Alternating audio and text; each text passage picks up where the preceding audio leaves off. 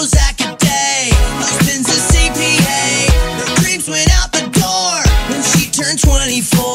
Only been with one man. What happened to her plan? She was gonna be an actress. She was gonna be a star. She was gonna shake her ass on the hood of White.